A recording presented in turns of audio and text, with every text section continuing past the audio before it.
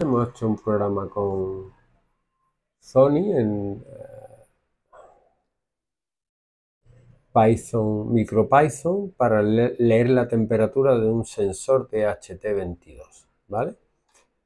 Importa machine, importa tiempo, importa DHT. El DHT lo hemos tenido que instalar en paquete y en plugin, ¿vale? En paquete ponéis aquí DHT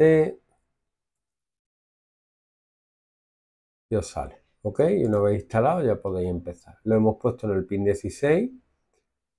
Hemos creado un pin y luego un sensor asociado a ese pin y luego hemos pedido que mida con el sensor y que las medidas la pase a la variable temperatura y humedad que luego imprime. Si da un error, hace un try set de un error, pone error al sensor y luego espera dos segundos, ¿vale? Lo vamos a ejecutar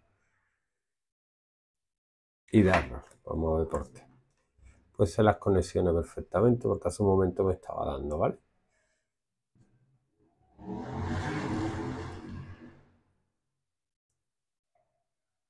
Ahora.